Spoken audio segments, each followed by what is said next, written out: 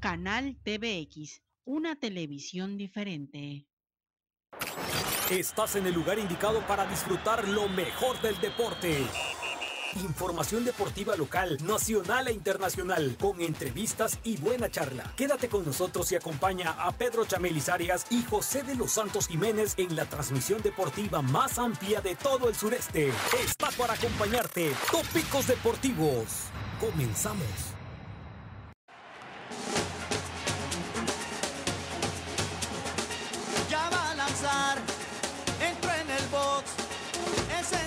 Pitcher que mejor le bateo yo. Fijo mi mente y le pongo corazón. La bola viene de frente y la voy a sacar de hombro. Como se debe.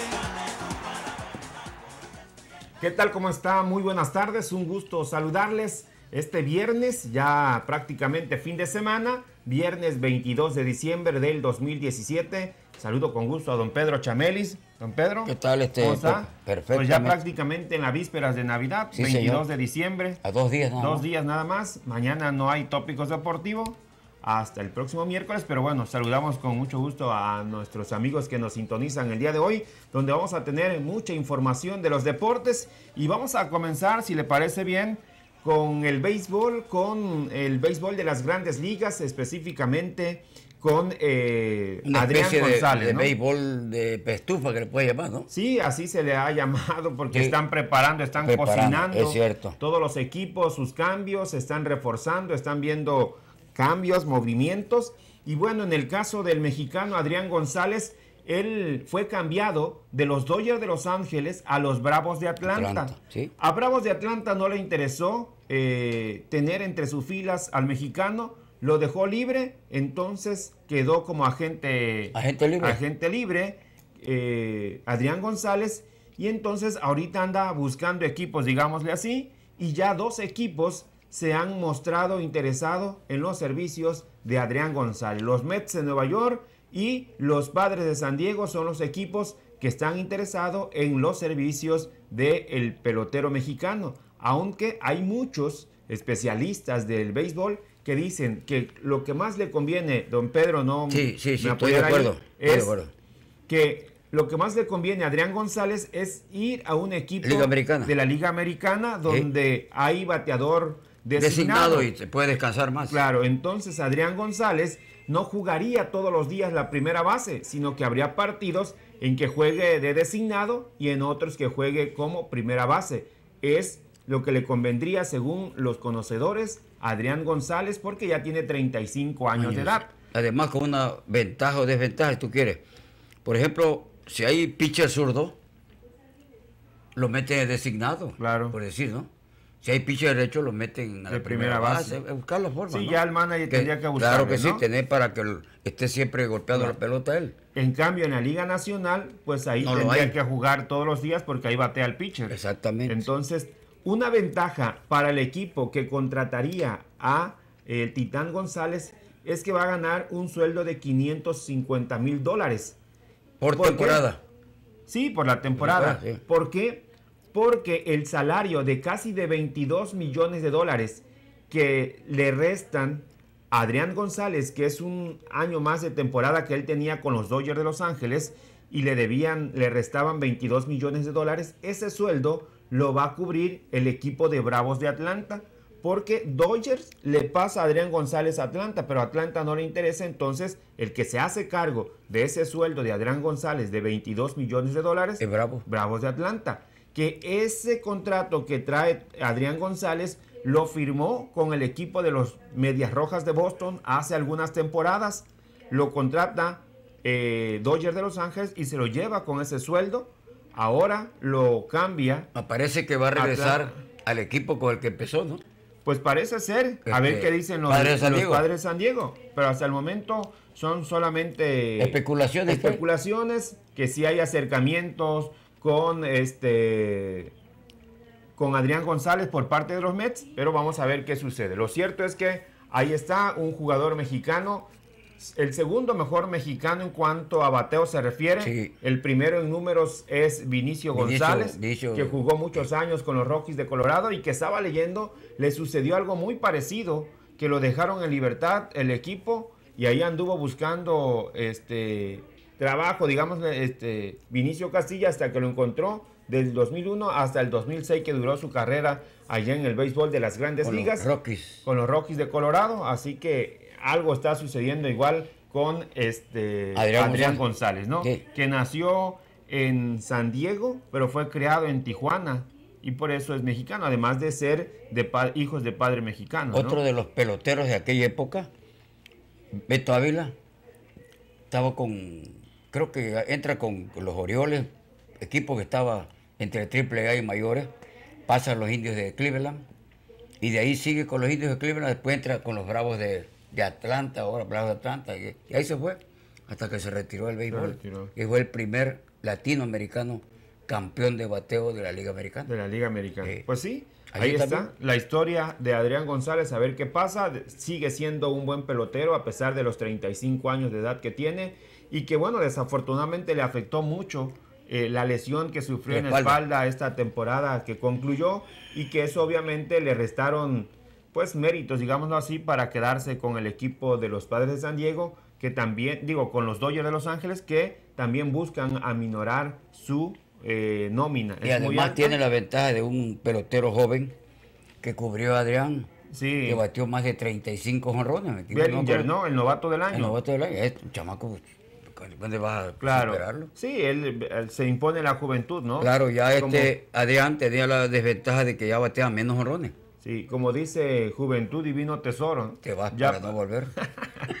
pasaron los mejores años de Adrián González, ya no es el mismo, 35 años de edad, y viene este Bellinger, que eh, va a ser interesante, fue el Bastante, novato del año, novato del año. promete muchas cosas con el equipo de los Dodgers, y a eso le apostó el equipo angelino, ¿no? Claro. A la juventud de Bellinger. Entonces, vamos a ver qué pasa con eh, Adrián González. Y en el caso del béisbol aquí local, ah, platiquemos un poquito de los Olmecas de Tabasco, porque allá en Mérida se dio a conocer que Francisco Rodríguez es un pitcher que el año pasado, que esa temporada que concluyó, jugó para los Leones de Yucatán y hacen un cambio los Leones de Yucatán con los Olmecas de Tabasco. A Olmecas llega Francisco Rodríguez y Olmecas envía a Leones de Yucatán a Cristian Delgado. Pero ¿quién es Francisco Rodríguez? Francisco Rodríguez llegó en el año 2015 a los Leones de Yucatán procedente de los Tigres de Quintana Roo. La temporada que concluyó en este 2017, Cris- eh, Francisco Rodríguez tuvo números de 8 ganados, 6 perdidos y un porcentaje en carreras limpias admitida de 3.34. Lanzó en 97 entradas, tuvo 18 salidas, es decir, abrió 18 Sí, juegos, pues sí. le conectaron 104 hits, le produjeron 38 carreras, le conectaron 8 cuadrangulares, dio 34 bases por bolas, una de ellas intencional, y recetó 53 ponches. En los números no parece mal Francisco no, no, no, Rodríguez, Está bien, está bien. pero vamos a ver A ver, ¿qué hace aquí? cómo trabaja, cómo se siente aquí con los Olmecas de Tabasco. Por algo lo ha de haber soltado el equipo de los Leones de Yucatán, pero ojalá venga en buenas condiciones. Para que pueda responder. Claro, y como que Olmecas en los últimos ha hecho cambios con Leones de Yucatán. Recordemos que antes de finalizar la temporada 2017 llegó a Olmecas eh, Juan Salvador Delgadillo, procedente también de Leones de Yucatán. Que era, es tabasqueño. Sí, está vasqueño, pero que no hizo un solo lanzamiento Sí. porque venía lastimado, Lastimado de los Leones de Yucatán. hombro, sí. Vamos a ver cómo sigue. Entonces vamos a ir a la pausa y regresamos para seguir platicando aquí en Tópicos Deportivos. No le cambie. Ese es el pitcher que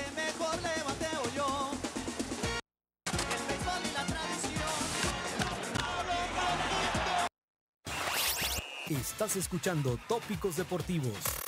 Regresamos. Audio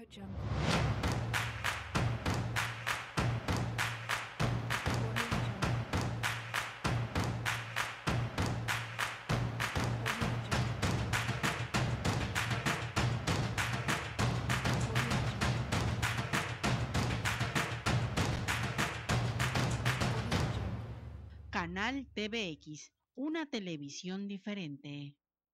Grupo BX presenta De Viva Voz. Entrevistas, análisis y opinión. Los temas actuales de Tabasco en la voz de sus protagonistas. Con la conducción de Leonel Magaña Sandoval, Juan José Sánchez Galvez y José Luis Morales Rivera.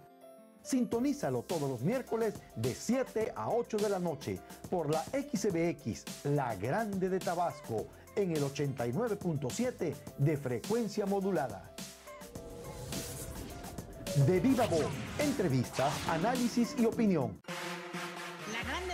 Cada vez más cerca de ti. Síguenos en nuestra página en Facebook. Encuéntranos como TVX Noticias. En Twitter, arroba XHBX Tabasco. Y en Instagram como Grupo BX-Bajo. Suscríbete a nuestro canal de YouTube como Canal TVX. La Grande de Tabasco 89.7 de FM. La radio que te lee y escucha. Su amigo Luis Valencia Thomas les invita a sintonizar Fuente de Vida Eterna, ofreciéndoles un remanso espiritual con mensajes de amor, paz y esperanza. Acompáñenos los sábados a las 3.30 de la tarde en el programa Fuente de Vida Eterna.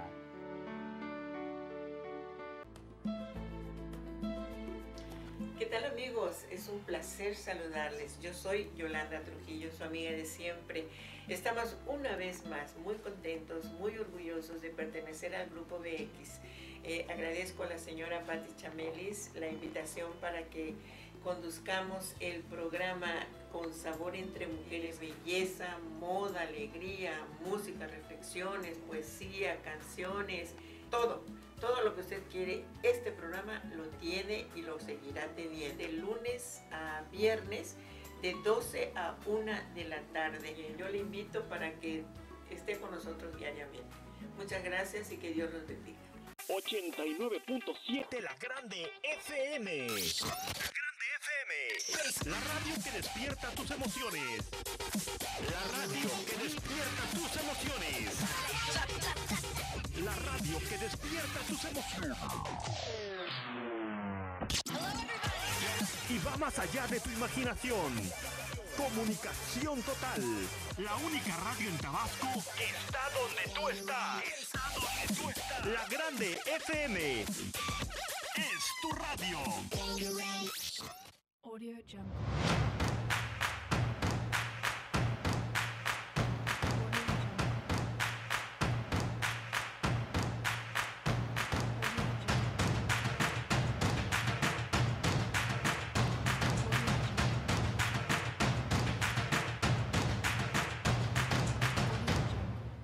Canal TVX, una televisión diferente.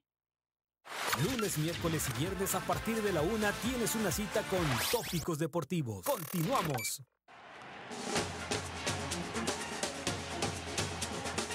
Ya va a lanzar, en el box. Ese es el pitcher que mejor le bateo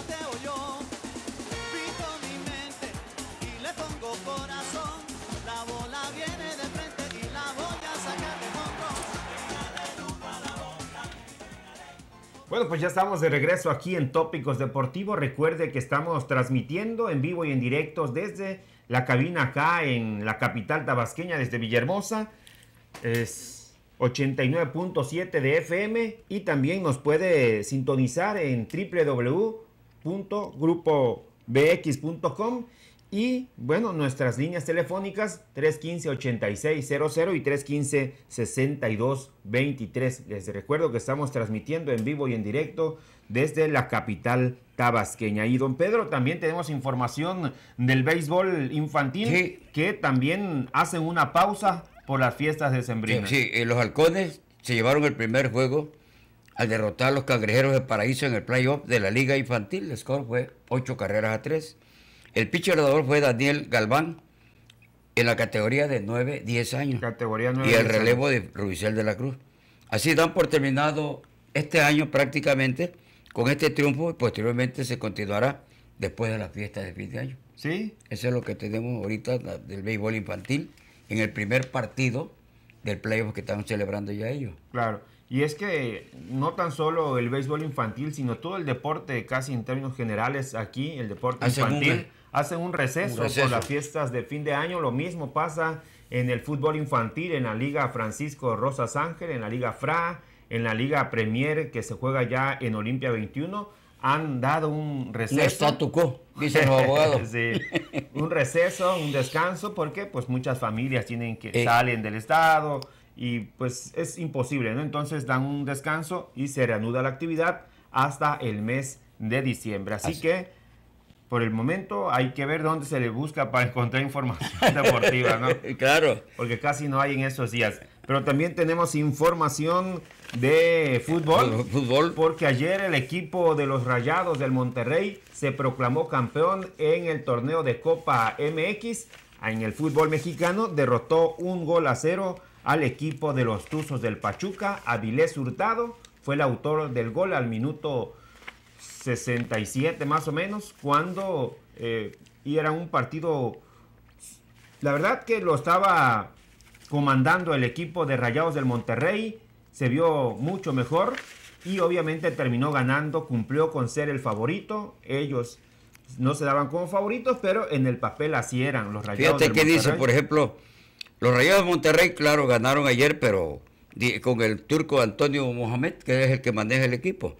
Lograron ganarle a los Tuzos del Pachuca un gol a cero. Claro, que no fue nada fácil. El Monterrey sufrió, pero logró superar a los Tuzos por la mínima diferencia. Eso es efectivamente lo que, lo que sucedió en este partido. Y esto originó también que, por ejemplo, en la hay unas declaraciones de, de ¿cómo se llama? De, de la ¿De Antonio Mohamed? no, de, de- de la liga. Ah, de la liga. manifiestan ellos que este que cómo se llama que que esta persona o sea e- el, el equipo de cómo se llama de, De Monterrey. de Monterrey, pues hizo un buen espectáculo pero Sí. que no quedaron conformes con eso por el solo hecho de que quería ganar el de la liga Sí, el- ellos querían ganar. el- Para no el copero sino el otro El de la liga, que es, digamos, el más importante. más ¿no? importante que le ganó el Tigres a Sí, ellos le ganó Tigres. Entonces se sacaron la espinita, pero de todas maneras ellos iban por el torneo de liga. claro que era lo más Y importante para muchos este título Es de consolación es esto, de prácticamente. consolación para los Rayados del Monterrey, Sí. que al final de cuentas también hay que decir que es un título que también cuenta, ¿no? Claro. Y mientras sean títulos que esté sumando a las vitrinas del equipo, pues es importante. Y ahí está el equipo de los Rayados del Monterrey cierra el 2017 con un título, uno de los dos que habían si no prometido, pero que habían mencionado que tenían Sí, porque se, se de sentían muy fuertes para, para Claro. ser campeones. Y sin Se embargo, sentían fuertes y tenían plantel para hacerlo. acuérdate que la pelota es redonda y a veces ahí donde...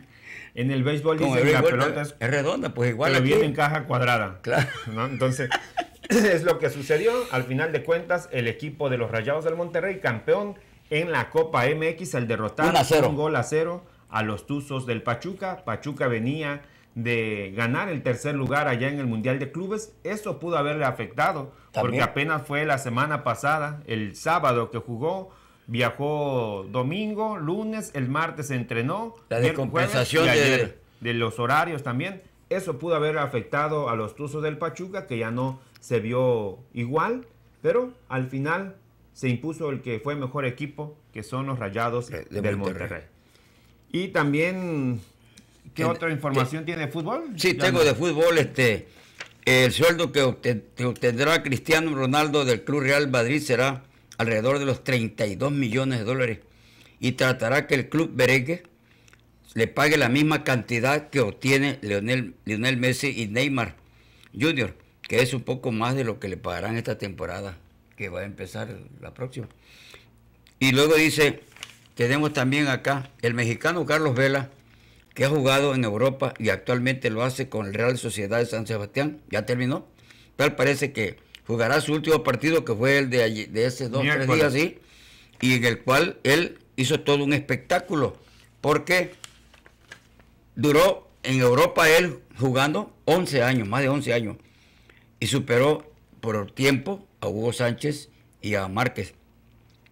El mexicano Carlos Vela Garrido se retiró del fútbol español, anotando un gol y su equipo ganó el partido, que fue la despedida de este joven mexicano decla- declaró, mejor imposible, ni en el mejor de mis sueños habría acabado tan bien, dice él, ¿no? Sí. Y luego dice, la Liga Española también declaró que al final, el final soñado, Carlos Vela se despide a lo grande. Muchas gracias por todo. Que dicen a él, ya se encuentra dentro del equipo Ángeles FC de la MLS, Sí. Mayor Liga de Softball. Sí, la, Liga de Estados Unidos. Sí, la de Estados Unidos. Se fue bien Carlitos Vela, hay quienes lo critican porque él pudo dar más, tiene mucho talento Carlos Sí. Vela para jugar al fútbol, pero él también públicamente ha dicho que él el fútbol no es que lo apasione quizás como otros, él lo juega porque a eso se dedica, Sí. de eso vive, le pagan por hacerlo. profesión, prácticamente. Pero no es que lo apasione, él su pasión es el básquetbol, lo dijo públicamente, así que quizás cumplía, jugaba porque así tenía que hacerlo, pero nunca se esforzó para sobresalir más porque el talento lo tenía. Hay quienes dicen que si Carlitos Vela se hubiese esforzado, se hubiese exigido mucho más, hubiese llegado a jugar mucho más allá en Europa y con equipos importantes. Claro. Pero él con lo que jugaba le bastaba, él decía, me siento bien, estaba cómodo, no se exigía más de lo que él daba y entonces así fue y aún así pudo llegar a ser un ídolo con el equipo de la Real Sociedad ahí en Jugó Anoeta. con varios equipos. En sí, jugó con varios equipos, jugó Con el Vigo, jugó con el... el Celta de Vigo, sí. Sí. Jugó con varios equipos Carlitos Vela y vino a terminar ahí en la Real Sociedad. A partir del mes de enero, que ya faltan muy pocos días, va a reportar con el equipo de Los Ángeles Fútbol Club ahí en la MLS y se va a unir a la lista de los hermanos Dos Santos, Giovanni y Jonathan Dos Santos, que juegan para el Galaxy de Los Ángeles. No es el mismo equipo, uno No, es el Galaxy de Los Ángeles y el otro es Los Ángeles Fútbol Club que están en la misma ciudad, pero no son el mismo equipo y ahí va a jugar Carlitos Vela a partir de la próxima de temporada. En enero ya, Sí, y que esto ha, eh, digamos, llamado la atención y preocupado al técnico de la selección mexicana, Juan Carlos Osorio, porque todos estos días, todo este tiempo, Carlos Vela va a estar parado, no va a entrenar, podrá salir a correr y para mantenerse, pero no va a hacer fútbol, no va a estar en actividad como lo estarán haciendo el resto de los jugadores. ¿no? Exactamente. Entonces, no puede que no llegue en buen ritmo al Mundial de Fútbol Rusia 2018, considerando que es un jugador importante para la selección mexicana. Y además Carlos otra, Vela. otra cosa, este Pepe, además, este, por ejemplo, este muchacho es un magnífico jugador, ¿no? Sí, es un Pero- gran jugador. Se supone que ya llegar a la, a la selección mexicana tienes que echar el resto. Sí, Y, él es un- y él como juega con cierta apatía o con cierta... Puede originar que a veces lo, lo echen a un lado. él juega muy bien, él es un no titular indiscutible, pero sí es un elemento que va a estar en el Mundial de Rusia 2018, porque con el talento que tiene le alcanza para ir al Mundial, simplemente es cuestión de disciplina, de que eche para adelante, que se prepare bien y deje todo dentro de la cancha, porque el talento lo tiene. Es considerado uno de los mejores mexicanos, futbolistas mexicanos que hay actualmente, ¿no? Una desventaja para él ahorita es que va a jugar en un nivel menor. Sí, en la MLS. que se- en Estados Unidos no se juega mucho fútbol. No. Entonces viene de Europa, donde se juega más fuerte, y aquí como que va a disminuir. Eso le va a afectar también. Sí, es lo, es lo que le han criticado, ¿no? A él y a los hermanos Dos Santos. Sí. Los Dos Santos querían jugar en México estos meses, que no van a tener actividad en la MLS, pero pues no se pudo. Y vamos a ver cómo llegan los mexicanos al Mundial de Rusia 2018. Sí. Por lo menos Jonathan, Giovanni y Carlitos Vela prefirieron los dólares estadounidenses Sí, que los millones los de dólares- que los, Los, e- los, los euros. euros. Sí. Sí. Pero va a estar cómodo en Estados Unidos. Él dice que él quería jugar, vivir en Estados Unidos y estar más Así cerca de su familia. Claro que sí, está cerca de la familia. Fíjate que nosotros tenemos un recuerdo sobre la familia de él. El papá es amigo mío. Así. El papá de, es decir, el abuelo de él es amigo mío. Son- es este Garrido Thompson. Y la hija de él eh, la anotamos en la escuela técnica que estuve cuando manejé yo la técnica allá en, En Cancún. en Cancún.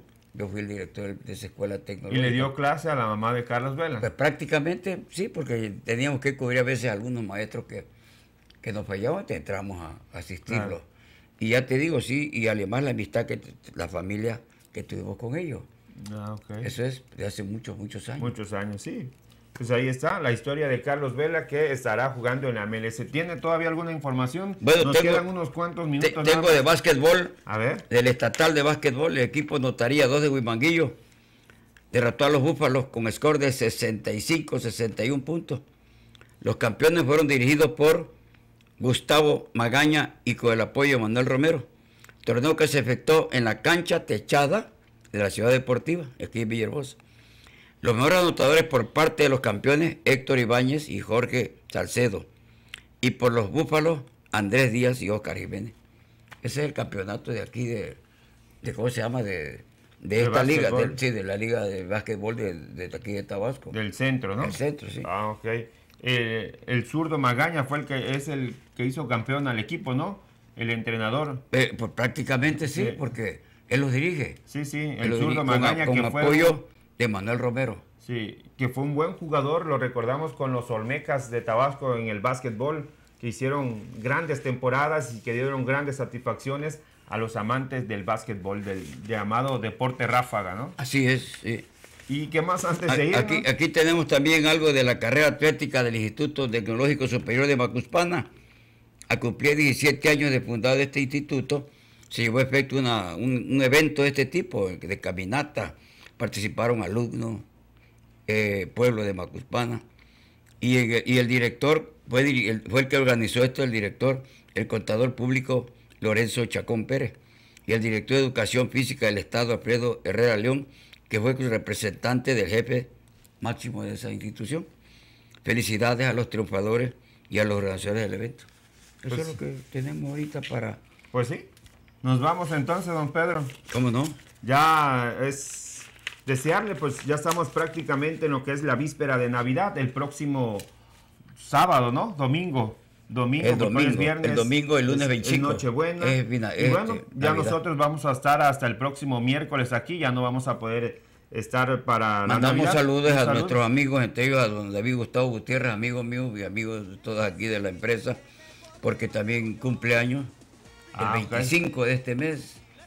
Es el lunes, ¿no? El lunes 25. Pues muchas felicidades a don David Gustavo y también muchas felicidades a todos nuestros amigos que nos han sintonizado en estos días. Que la pase bien, que tenga una feliz Navidad y nos escuchamos y vemos el, hasta el próximo miércoles. Así que por lo pronto, muy buenas tardes.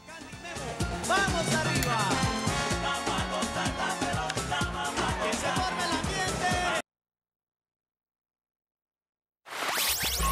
Fue Tópicos Deportivos. Te esperamos lunes, miércoles y viernes de 1 a 1.30 de la tarde por esta tu estación 89.7 FM o por www.grupobx.com. Nos vemos en Tópicos Deportivos.